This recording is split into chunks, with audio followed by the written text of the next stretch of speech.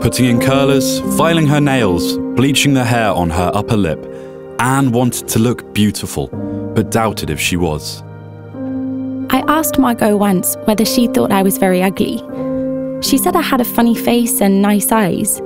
Pretty vague, don't you think? In her diary, Anne listed what she considered 12 requirements for beauty and whether she did or didn't have them. Blue eyes, black hair? No. Dimpled cheeks? Yes. Straight nose? Yes. Nice clothes?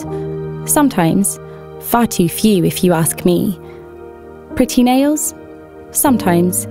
Intelligent? Sometimes. Anne really wanted to be an adult. She could hardly wait for her first period. When it finally happened, she was fascinated.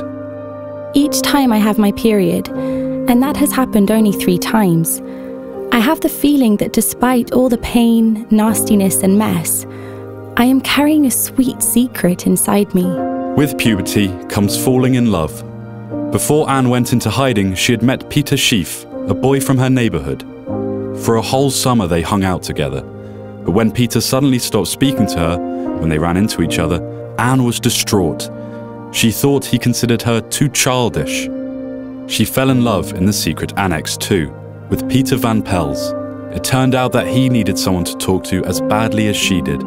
Her circumstances forced Anne to grow up quickly.